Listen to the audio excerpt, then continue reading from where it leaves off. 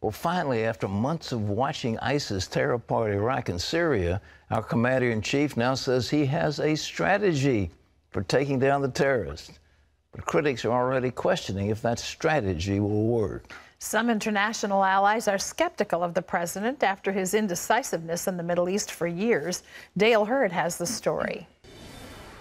President Obama has finally decided what the U.S. should do to defeat the terrorists of the so called Islamic State in the Middle East. We are going to degrade and ultimately defeat ISIL, the same way that we have gone after Al Qaeda.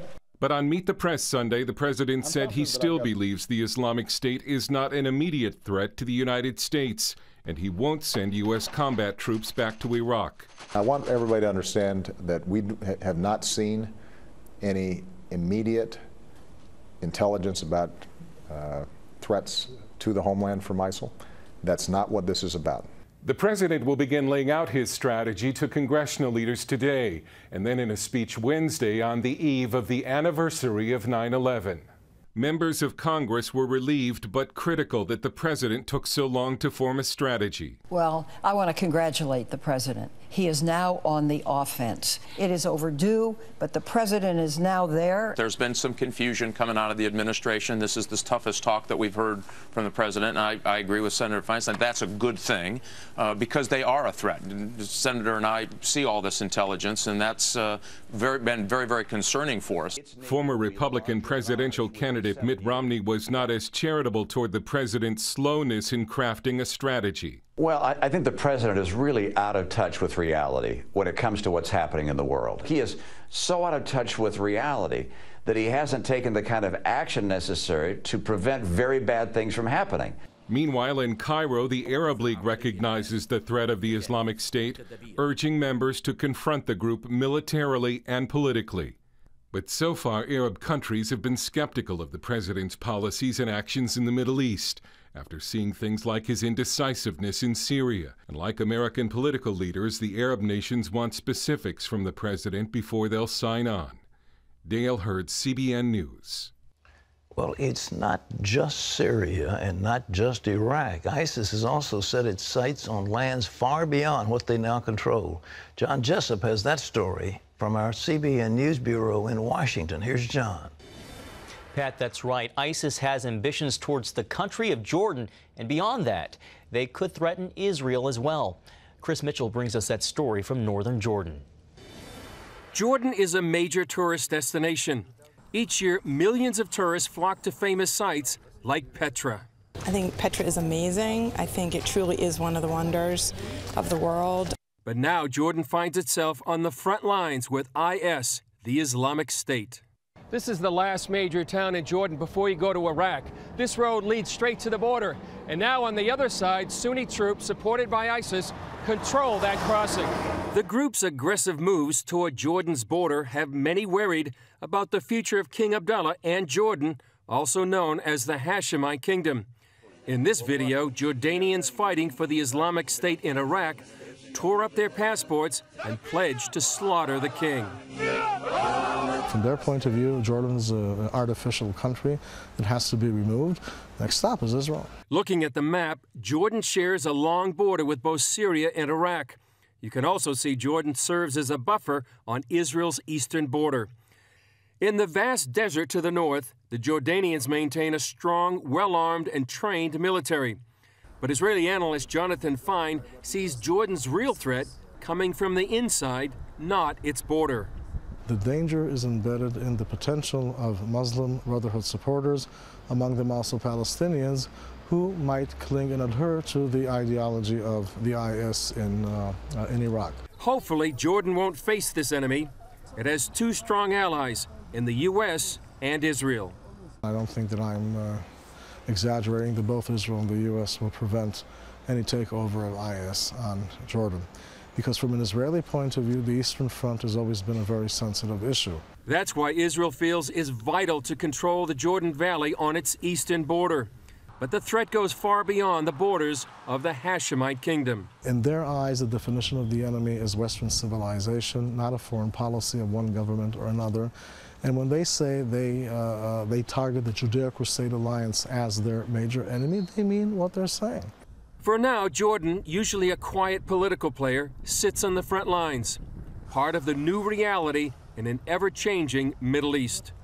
Chris Mitchell, CBN News, Northern Jordan.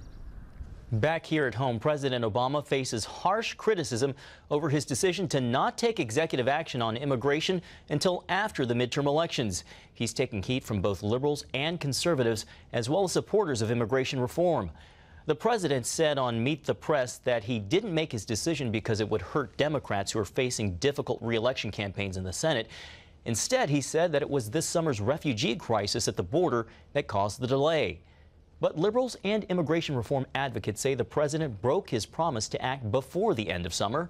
And conservatives say the president is overreaching his presidential authority again, arguing he doesn't have the power to change immigration laws by himself.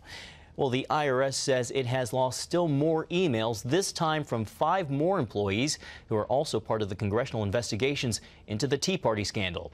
The tax agency said in June it couldn't find an untold number of emails to and from Lois Lerner, the former agency official who's refused to testify to Congress about the scandal.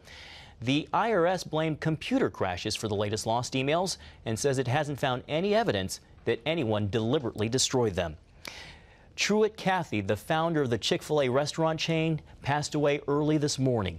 A company spokesman said Cathy died at home surrounded by family members. The first Chick fil A opened in Atlanta, Georgia back in 1967, and in the following decades, it expanded to more than 1,800 stores in 39 states. The chain has been known for its biblical values like closing on Sundays to allow employees a day of rest. And Cathy was known for his Christian beliefs as well, appearing on the 700 Club in years past. In recent years, Chick fil A drew attention over comments on gay marriage. Truett Cathy was 93. And Pat Truett was not only known for his business success, he was also known for his charitable works. He was a wonderful man, very generous, and uh, he appeared a couple of times on the 700 Club in the early days. He was just getting started, and he talked about the idea of taking a piece of white meat chicken and putting it in a bun, and that was the foundation of, quote, Chick-fil-A. But he, his son was joking about the fact that his father wanted to live to be 100 because so few people died who were over 100. And uh, so he, he, was a, he was a joker, but a great Christian, a wonderful man, and he will be sorely missed. Uh, not because of his business success, because he was just a great human being who loved the Lord Jesus. John? Pat, still another near miss for Earth as an asteroid 60 feet in diameter passed by on Sunday, only 25,000 miles away. But other space rocks have come even closer, with some crashing down to Earth, like the meteor that landed in Russia last February. If the asteroid that passed by this weekend had instead struck the Earth, it could have caused a major disaster because, Pat, it could have released about 30 times the amount of energy from the bomb that was dropped over Hiroshima in World War II. Well, it's just a little hunk of rock. That's all it is. It's just a little hunk of space rock, and there are millions of them floating around in space, and we just don't know when. The good news is that Jupiter's out there, big uh, gravity field, which sucks these things up closer to it, spares the Earth serious strikes we've been blessed and protected, but nevertheless, uh, we're vulnerable. I mean, it's a shooting gallery out there in space, and, and we're one of the targets. So uh, occasionally those things hit. The one that wiped out the dinosaurs hit what maybe, what was it, 250 million years ago? No, 65 million years, excuse me, 65 million years ago. And uh, it extinguished the dinosaurs.